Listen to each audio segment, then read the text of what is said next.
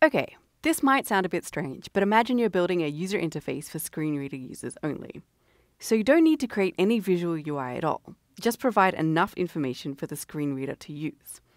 How would you express the form interface we used in the previous exercise? Well, what you'd be creating is kind of an API describing the page structure. That sounds kind of like the DOM API, but we can get away with less information and fewer nodes because a lot of that information is useful only for visual presentation. So something like this.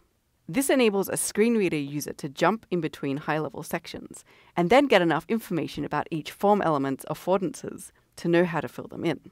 Remember, for a screen reader user, the screen reader provides the affordances based on the role alone without caring about the visual style. This is more or less what the browser actually does present to the screen reader. What happens is that the browser takes the DOM tree and modifies it to turn it into a form which is useful to assistive technology. We refer to this modified tree as the accessibility tree. In my mind, the accessibility tree conceptually looks a bit like an HTML page from the 90s.